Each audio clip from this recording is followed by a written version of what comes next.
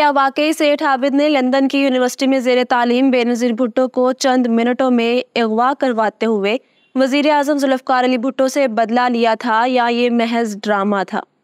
क्या आप जानते हैं कि सेठ आबिद हुसैन के साथ अयूब खान के दौर में ऐसा क्या हुआ था कि उन्होंने सोने से लोडेड बहरी जहाज़ का सारा का सारा सोना समुंदर में गिरा दिया?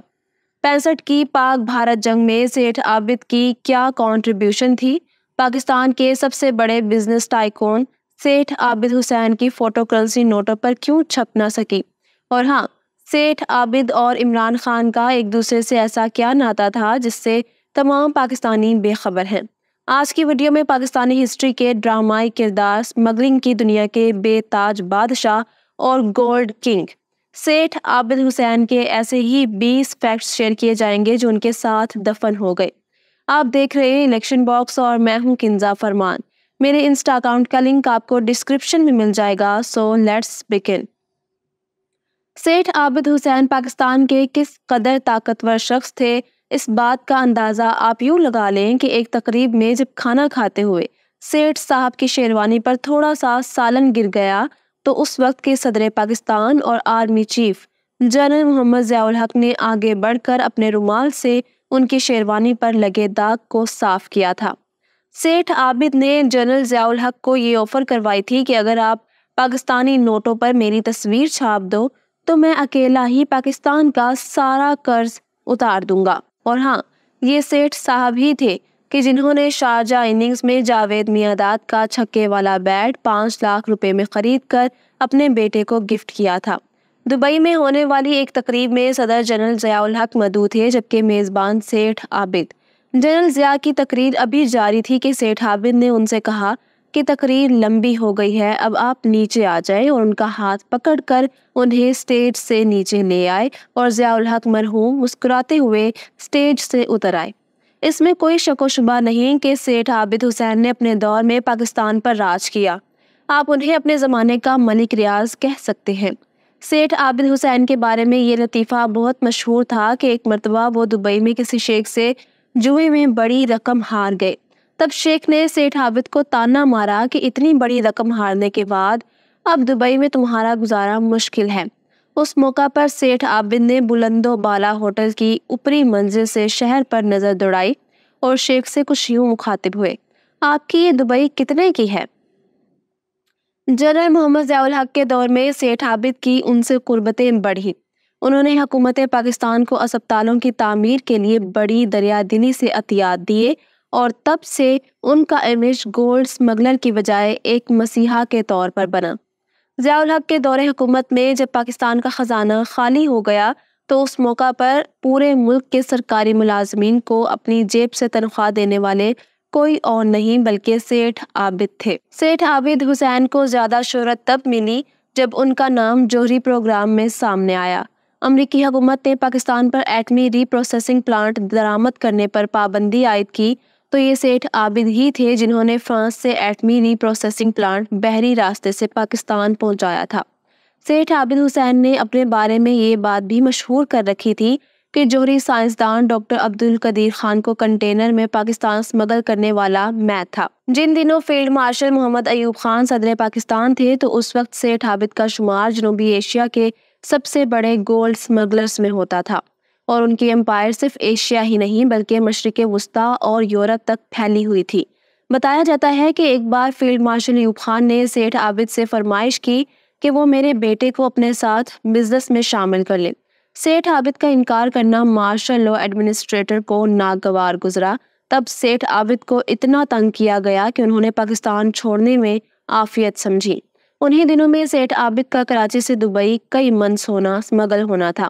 अभी लाश कराची के पानियों में थी कि सदर अयूब खान को खबर हो गई और फिर लाश का तआकुब किया जाने लगा। वायरनेस पर सेठ आबिद से रबता किया गया तो उन्होंने अपने लोगों से कहा, लाश के शटर खोल दो। इसके बाद अगले लम्हे एक लीवर खींचा गया और कई मन सोना समुंदर की तह में चला गया। सेठ आबिद जो कुछ भी करते, उनके पास ऐसा करने की जस्टिफिकेशन ज़रूर होती। वो सोने की स्मगलिंग को हराम नहीं समझते थे और उन्होंने कराची के कुछ मदारस से स्मगलिंग के हक में फतावाजात ले रखे थे। सेठ आबिद हुसैन ने एक मशहूर सहाफ़ी से इस्तफसार किया था, तुम्हारे अखबार में मेरे बारे में बुरा लिखा जाता है, हालाँकि मैं सोने की स्मगलिंग करके मुल्क और कौम की खिदमत कर रहा हूँ। मेरी वजह से पाकिस्तान में बहनों, बेटियों की शादी के लिए सस्ता सोना दस्तियाब होता है और आप लोग मेरी तारीफ़ ही नहीं करते। नवाब कसूरी कत्ल केस में भुट्टो के खिलाफ सुल्तानी गवाह बनने वाले फेडरल सिक्योरिटी फोर्स के डीजी मसूद महमूद, सेठ आबिद के हकीकी बरदर नस्बती यानी साले थे, जिनकी वजह से पाकिस्तान के सबक वज़ीर अजम जुल्फ़ार अली भुट्टो फांसी के फंदे पर झूल गए। सेठ आबिद हुसैन के सियासी शख्सियात के साथ दीरीना मरासिम थे।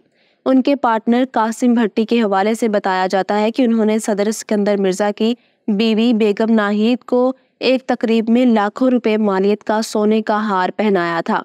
इसी तरह से इंडियन मीडिया में उनके बारे में तब पहली बार खलबली मची जब उनके बहनोई को दिल्ली से सोने की चवालीस ईंटों के साथ गिरफ़्तार किया गया। वज़ीर अजम जुल्फ़ार अली भुट्टो और सेठ आबिद हुसैन के माबैन लड़ाई तब शुरू हुई, जब मिस्टर भुट्टो ने सेठ आबिद के घर पर रेड करते हुए करोड़ों डॉलर्स मालियत की करेंसी नोट, सोने और कीमती घड़ियों को अपनी तहवील में ले लिया। कहा जाता है कि भुट्टो साहब ने सेठ आबिद से पाँच करोड़ रुपए पीपल्स पार्टी के लिए बतौर फंड मांगे थे। सेठ आबिद के बिग डो पर भुट्टो साहब को बहुत गुस्सा आया उन्होंने सेठ आबिद की गिरफ्तारी के लिए छापे मारे। बिलाखिर एक रोज सेठ आबिद की बजाय उनकी इकलौती बेटी नुसरत शाहीन को गिरफ़्तार कर लिया गया। जब सेठ आबिद को अपनी बेटी की गिरफ्तारी का इल्म हुआ तो उन्होंने लंदन में जेर तालीम बेनज़ीर भुट्टो को अगवा कर लिया। सेठ आबिद की कैद में भुट्टो की बेटी थी और भुट्टो की कैद में सेठ आबिद की बेटी। भुट्टो और सेठ आबिद में मामला तय पा गए और यूँ बेनज़ीर और नुसरत शाहीन को छोड़ दिया गया। याद रहे कि बेनज़ीर भुट्टो के अगवा की कहानी खुद सेठ आबिद बड़े फखर से बताया करते थे, ताहम पीपल्स पार्टी वाले इस वाक़े का सिरे से इनकार करते हैं। इमरान खान लाहौर में शौकत खानम कैंसर हॉस्पिटल बनाने लगे तो इसकी तामीर के लिए सेठ आबिद हुसैन ने खतीर रकम अतिया की। आप सेठ आबिद हुसैन को शौकत खानम का सबसे बड़ा डोनर या फाउंडिंग मेंबर भी कह सकते हैं। कम लोग जानते हैं कि नब्बे की दहाई के आखिर में जब पीटीवी पर शौकत खानम हॉस्पिटल की टीवी एडवर्टीजमेंट चलती थी तो उस दौर में सेठ आबिद शौकत खानम हॉस्पिटल के टीवी इश्तहार में लोगों से मदद की अपील करते हुए भी नज़र आए।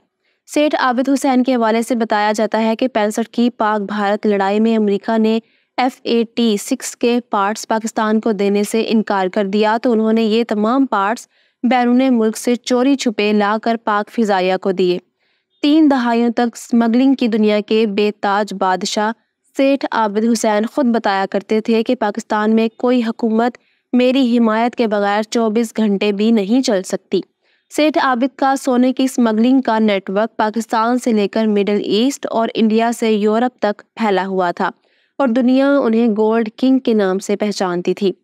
नब्बे की दहाई में सेठ आबिद की पहचान बतौर प्रॉपर्टी टाइकोन और रियल स्टेट डेवलपर हुई।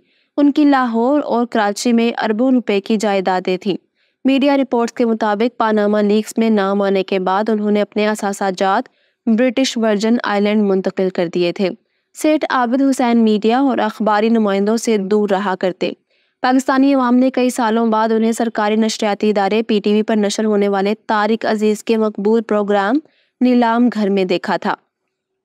साल 1936 में कसूर के नवाही इलाके में पैदा होने वाले सेठ आबिद हुसैन 8 जनवरी 2021 को पचासी बरस की उम्र में इस जहाने फ़ानी से कूच कर गए।